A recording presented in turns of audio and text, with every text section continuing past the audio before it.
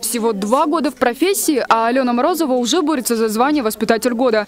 Среди претендентов она самый молодой специалист в плане опыта. Работает в Новоалтайске по инновационной методике профориентация детей дошкольного возраста.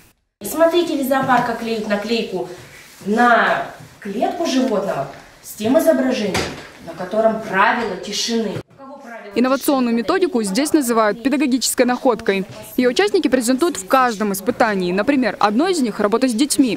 Алена решила рассказать о работниках зоопарка. Мало кто знает, что среди них есть грумеры и орнитологи.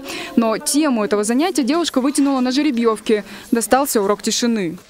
Они учатся слушать, слышать не только себя, но и то, что находится вокруг них. Когда мы закрывали уши, ребенок, он услышит свое дыхание, он услышит биение своего сердца, он слышит себя. Потом уже в конце вот мы привели именно к нашему зоопарку то, что дети услышали звуки животных. Из 35 заявок в очный этап прошли всего 15. Среди них, конечно, Барнаул, а еще Мамонтовский и Родинский районы. Впервые Усть-Пристанский. Каждый воспитатель презентовал свою педагогическую находку. В списке этого сезона – волонтерство, сказкотерапия и, например, нетрадиционные техники рисования. Мы представляем элиту э, дошкольного образования, мы предоставляем инновационные э, техники дошкольного образования, мы показываем профессионализм. Коллеги, которые участвуют в очном этапе, они увозят багаж знаний и Главное, конечно, что мы выбираем лучшего из лучших, который будет представлять дошкольное сообщество на России.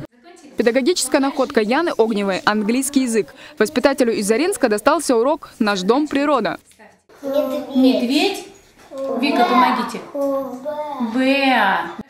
Имя победителя узнаем уже через три дня, но уже понятно, Яна и Алена – одни из главных претендентов на звание «Воспитатель года». Правда, планка высока. В прошлом году победительница Наталья Шевченко из Бийска стала лауреатом всероссийского этапа. Анастасия Наборщикова, Вадим Быстревский. День с толком.